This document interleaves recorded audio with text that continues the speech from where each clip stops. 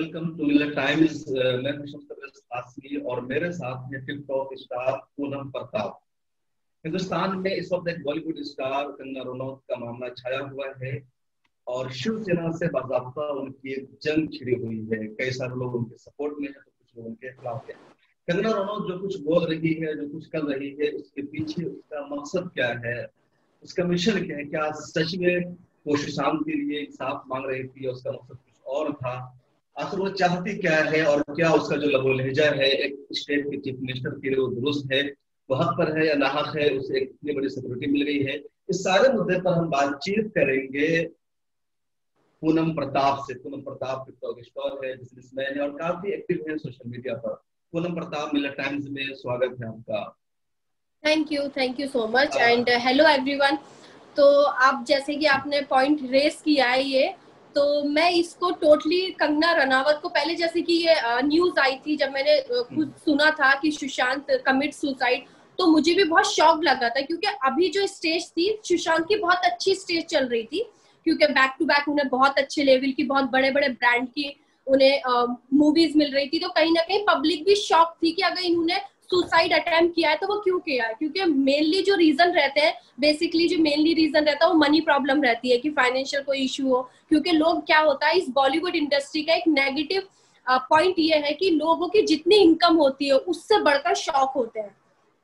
कि एक मूवी मिली नहीं बी एमडब्ल्यू मर्सडीज ये, वो, ये सारी चीज़ें आती है। तो बेसिकली लोगों के दिमाग में ये पॉइंट गया कि हो सकता है फाइनेंशियल कंडीशन ठीक नहीं है तो इसलिए सुशांत ने सुसाइड अटेम्प्ट करा।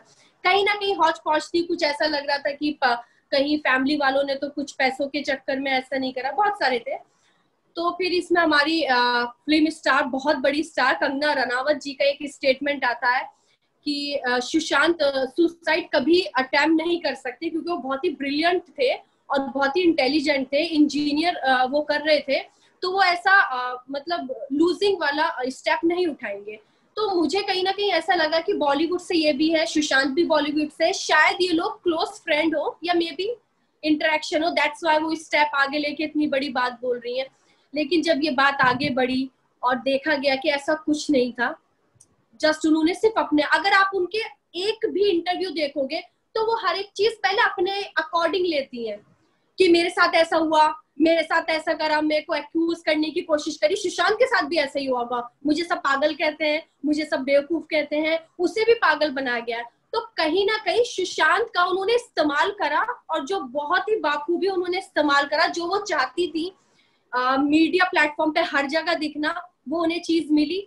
हर अगर न्यूज़ चैनल पे अगर आप देखोगे तो कंगना जी है इवन पॉलिटिक्स में भी जो कोई ऐसा पॉलिटिकल बंदा नहीं होगा जो उनके बारे में बात नहीं कर रहा होगा।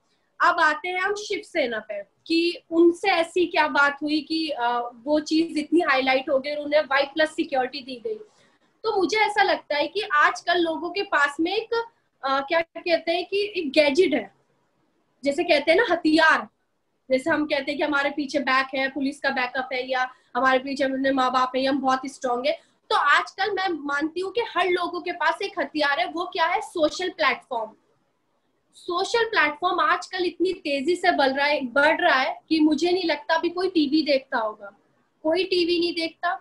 सबके हाथ में फ़ोन है सब यूट्यूब पे एक्टिव है ट्विटर पे एक्टिव है फेसबुक पे एक्टिव है सब वहीं से इन्हें इवन मुझे मैंने बहुत महीनों से न्यूज़पेपर नहीं पढ़ा। और मुझे नहीं लगता मेरे जैसे बहुत सारे लोग होंगे जिन्हें फेसबुक के या व्हाट्सएप से ही सारी न्यूज़ मिलती रहती है।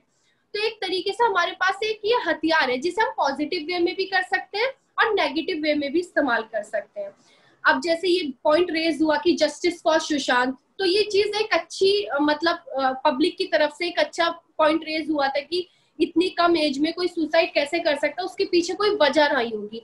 एक होता है इंटेंशनली सिर्फ़ हमारा ये मोटिव है कि सिर्फ़ इस बंदे को जो बंदा मर गया है, बेवजह, पता नहीं लग पा रहा है एक सस्पेक्ट बना हुआ है एक सस्पेंस है तो उसके लिए कोई आगे आके बात करता बहुत अच्छी बात है। लेकिन उसके साथ साथ जब उन्होंने शिव सेना के लिए कुछ बोला उदय ठाकरे जी के लिए कुछ बोला और फिर वो अपनी बातें करती है मेरे साथ ऐसा हुआ मेरे ये हुआ तो इससे पूरा पूरा मैं एक परसेंट भी नहीं बोलूँगी मैं हंड्रेड परसेंट बोलूँगी कि ये सिर्फ़ उनकी पब्लिसिटी पाने का फंडा और कुछ नहीं।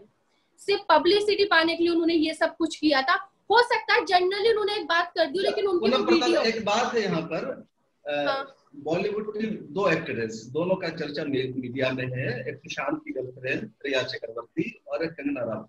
अगर आपने टीवी चैनल देखा होगा, इन दिनों आपने कहा कि हमने न्यूज़ में पेपर नहीं लेकिन टीवी चैनल आपने ज़रूर देखा होगा। तो वहाँ कंगना रनौत के बारे में बहुत ज़्यादा हमदर्दी दिखाई जा रही है कि लड़की हिमाचल प्रदेश से चलकर मुंबई आई, उसका उसका ऑफ़िस तोड़ दी गई, उसके साथ जाती हुई उस पर जुल्म किया जा रहा है। दूसरी लड़की है रिया चक्रवर्ती। काम तफ्तीश करना सीबीआई का है सच्चाई का लेकिन मीडिया में जिस तरह रिया चक्रवर्ती को मतलब उस पर इल्ज़ाम पर इल्ज़ाम लगाए जा रहे हैं उसको बना करके पेश किया जा रहा है मतलब उसका मीडिया ट्रायल कर दिया गया है उसको हमेशा मीडिया में एक इस चीज़ में आपको क्या मैं आपको इस चीज़ का भी आंसर दूँगी आपको मैं रोकना चाहूँगी माफ़ी चाहूँगी इस चीज़ के लिए।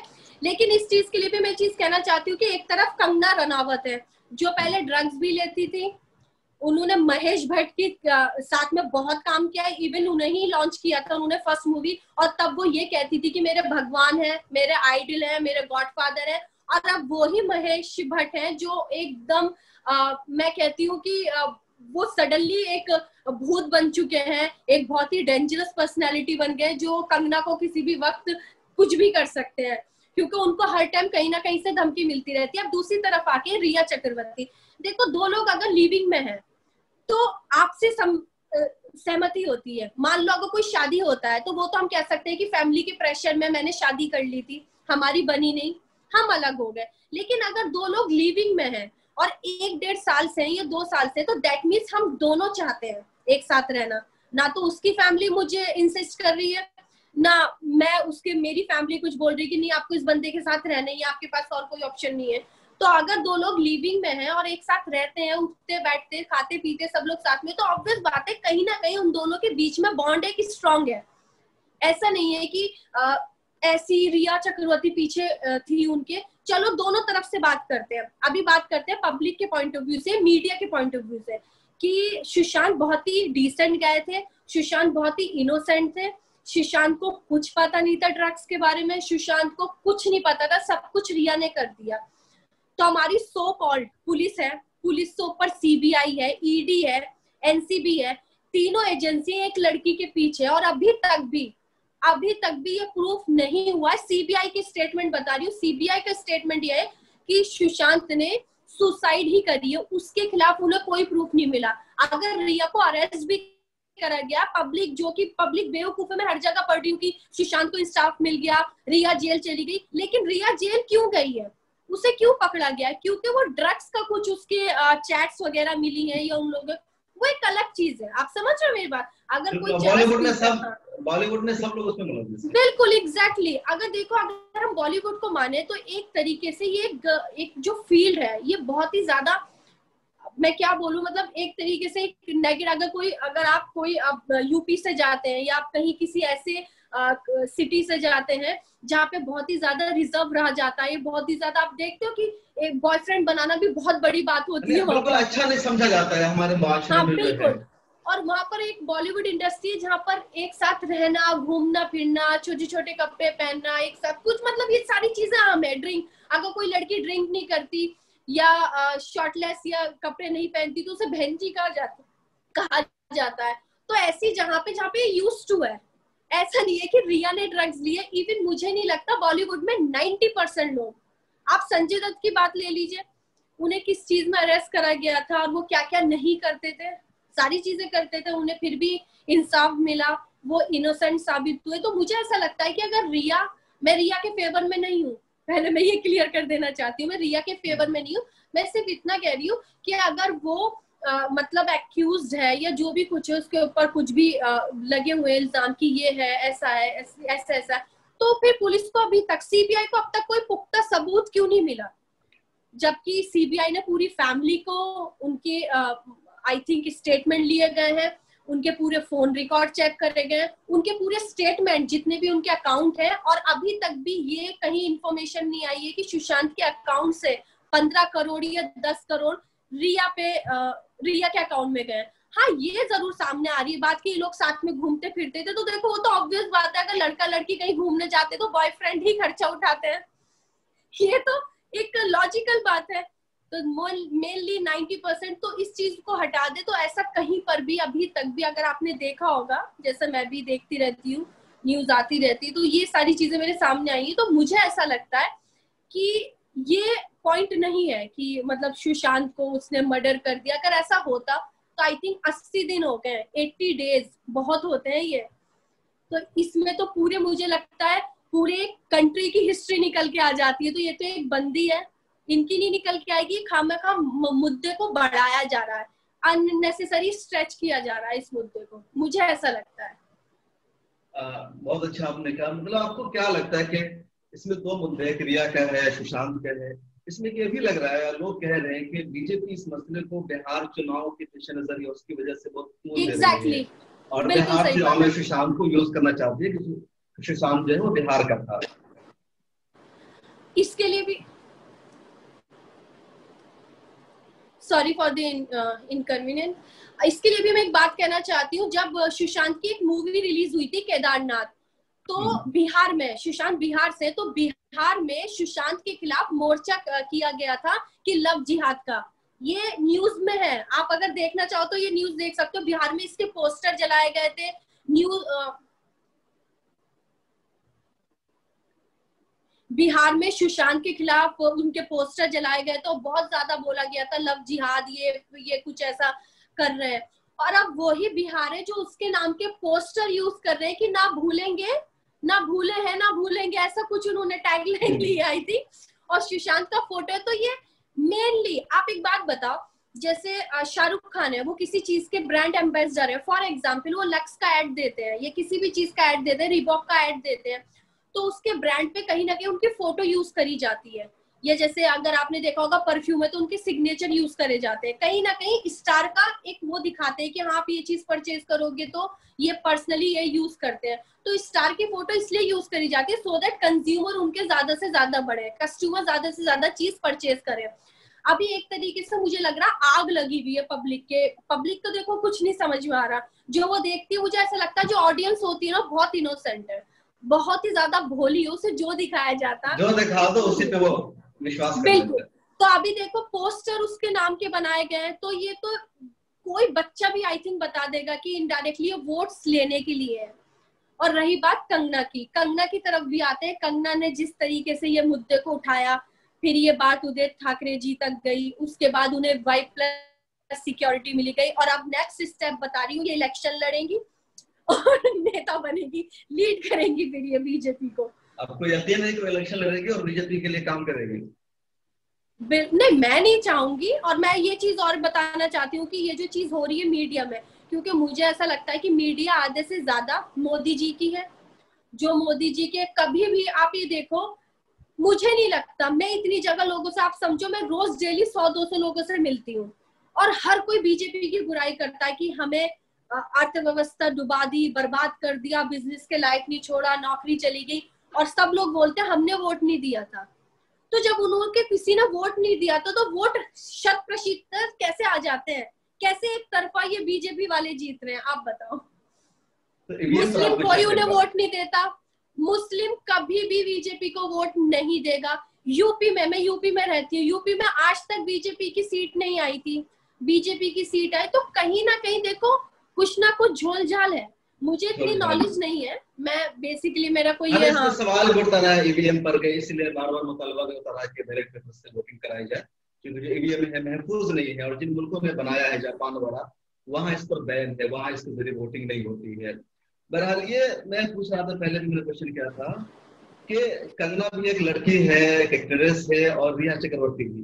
टीवी चैनल पर कंगना से बहुत ज़्यादा मोहब्बत दिखाई जाती है हमदर्दी दिखाई जाती है रिया चक्रवर्ती से नहीं। और जो बोलने वाले वो सब मैडम है एंकर है खवातीन है तो ऐसा क्यों? मतलब एक के लिए ऐसा इसलिए कि देखो जब कोई चीज़ कोई जैसे सेल्समैन है एक तरीके से मीडिया सेल्समैन है। मीडिया जो है जो रोल प्ले कर रही है वो सेल्समैन का प्ले कर रही है। अब सेल्समैन का काम होता है एक चीज़ को नीचा दिखाना और दूसरी चीज़ को ऊँचा दिखाना उसके पॉजिटिव पॉइंट बताना। अब एक को तो उठाना पड़ेगा तो नीचे गिराना पड़ेगा। केजरीवाल को जब तुम नीचा दिखाओगे तो मोदी को तो ऊपर दिखाओगे। आप समझ लो दोनों को ये नहीं कह सकते। केजरीवाल भी बहुत अच्छा मोदी जी भी बहुत अच्छे हैं, जयराम जी की। ऐसा कभी नहीं होता। और रिया को इसलिए कराया गया क्योंकि रिया एक इजी टारगेट है। रिया शुरू से ही जब से सुशांत वाला मैटर आया तो कहीं ना कहीं मैंने ये देखा मीडिया हमेशा टारगेट बनाती है लोगों को। और रिया उन्हें एक तरीके से हलवे की तरह प्लेट में परोस के मिल गई, क्योंकि बहुत सारे हैशटैग यूज़ करे जा रहे थे, सुशांत, वो जस्टिस फॉर सुशांत और रिया को अरेस्ट किया जाए या सीबीआई इंक्वायरी फॉर रिया। तो इस तरीके के बहुत सारे हैशटैग यूज़ करे गए थे और पब्लिक देखो जो पब्लिक चाहती आप ये मानोगे कि जो चीज़ पब्लिक देखना चाहती है, वो चीज़ दिखाती है मीडिया आजकल हर जगह क्यों सुशांत का मैटर चल रहा है? क्योंकि पब्लिक देख रही है। जिस दौरान पब्लिक ये पब्लिक चाह रही है या बीजेपी चाह रही है? पब्लिक तो चाह रही है मीडिया के मसले बीजेपी नहीं मीडिया खाली बीजेपी की कमियों को छुपाना चाहती उन्हें एक मुद्दा चाहिए था ताकि पब्लिक को डिस्ट्रैक्ट कर सके। तो वो देखो मीडिया जो आजकल कहते हैं ना गोदी मीडिया तो ये है फैक्ट है। पहले मैं नहीं मानती थी लेकिन जब से लॉकडाउन हुआ सारी चीज़ें देखी गई आप एक बात बताओ इस देश में मतलब बड़े पर्सनल एक्सपीरियंस हुआ आपको पर्सनल एक्सपीरियंस हुआ आपको कि मीडिया मुद्दों को नहीं उठाती है इसलिए आपको यकीन बिल्कुल ये मेरा मानना है। मैं हंड्रेड परसेंट इससे शत प्रतिशत सहमत हूँ कि जो चीज़ दिखाई जा रही है वो इनडायरेक्टली सरकार की कमियों को वरना इस समय मुझे ऐसा लगता है मीडिया पे ये दिखाना चाहिए कि कैसे लोग बेरोजगार हो गए कैसे लोगों को काम काज पहुँचाया जाए कैसे इस जो देश की इकोनॉमी को बढ़ाया जाए कैसे इस देश में फैक्ट्रीज लगाई जाए खुद की टेलीकॉम सेक्टर की जो हम लोग बाहर से एक्सपोर्ट करते थे। तो वो सारी चीज़ें मुझे लगता है उन चीज़ों पे काम होना चाहिए। वो चीज़ नहीं हो रही। कहीं पर भी आप किसी भी न्यूज़ चैनल पे बीजेपी की जो उनके उन्होंने कुछ काम किया वो दिखाए जा रहे हैं? नहीं। क्योंकि उन्होंने कुछ काम ही नहीं किया। अभी बड़े अहम मुद्दे जैसे चाइना और भारत की लड़ाई का मसला चल रहा है बहुत कृषि की हो रही है। जीडीपी में पहली मरतबा गिरावट आ गई है। ट्वेंटी थ्री माइनस आ गया है इकोनॉमिक क्राइसिस है। तो वाकई इन सब मुद्दों को नहीं उठाया जा रहा मीडिया को उठाना चाहिए था। आखिरी में सवाल आपसे करेंगे। कि आप टिकटॉक स्टार थे टिकटॉक पर आपके लाखों फॉलोअर्स थे, अब टिकटॉक बंद हो गया है, तब आप लोग क्या कर रही है इतने दिनों से? क्या ओके okay. हाँ ये चीज़ आपने एक अच्छा पॉइंट करा। एक्चुअली मैं टिकटॉक पे रेगुलर एक्टिव नहीं थी। लॉकडाउन के दौरान मैं बहुत एक्टिव हुई थी, क्योंकि लॉकडाउन के दौरान कुछ काम नहीं था, घर में बोर थे।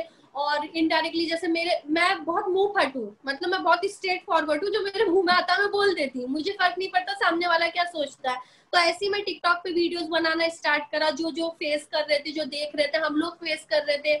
हमारी बैंक की ईएमआई डिडक्ट हो रही थी। हमसे कहा गया था कि तीन महीने तक आप अगर मोरोटोरियम लेते हो तो आपकी कोई ईएमआई हिट नहीं होगी, जबकि ये सारी चीज़ें हो रही थी। मैं खुद पर्सनली फेस कर रही थी और यही दौरान मैंने एक वीडियो बनाई, वो बहुत वायरल हुई क्योंकि सब लोगों ने उससे रिलेट किया। एक चीज़ मैं यहाँ पर मेंशन करना चाहूँगी पब्लिक तभी आपका साथ देती जब जो चीज़ सही होती है। कोई अगर गलत बोलता है तो पब्लिक कभी आपका साथ नहीं देगी। पब्लिक तभी होती है जब, अब जैसे सुशांत ने सुसाइड करा, आप समझो मेरी बात। और उस दौरान ये दिखाया गया कि रिया उसे छोड़ के चली गई थी। तो कहीं ना कहीं कुछ ना कुछ ठीक था। आप समझ रहे मेरी बात? तो उसी चीज़ को पॉइंट लेके वो बात को आगे बढ़ाया गया। तो कहीं ना कहीं कोई ना कोई चीज़ ठीक होती। तो यही चीज़ों के ऊपर मैं वीडियोस बनाती थी, लेकिन टिकटॉक बंद हुआ, जो कि होना चाहिए था। चाइना ने अच्छा नहीं किया था हमारे साथ में, और बॉर्डर पे भी देखा गया। तो ये चीज़ से मुझे फ़र्क नहीं पड़ रहा था। लेकिन हाँ उस टाइम के बाद से एक अच्छी चीज़ थी टिकटॉक में कि वहाँ पर हम बीस सेकेंड तीस सेकेंड एक मिनट कैसी भी, जैसे मैं अगर कार में भी ड्राइव कर रही हूँ, या मैं बैल्कनी में खड़ी हूँ तो मैं वीडियो बना लेती थी।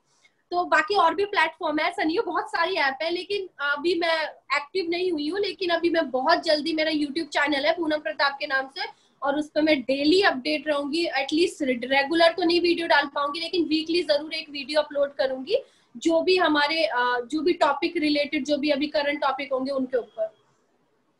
बहुत शुक्रिया पूनम प्रताप हमारे साथ जुड़ने के लिए, बातचीत करने के लिए, अपने व्यूज़ को एक्सप्रेस करने के लिए।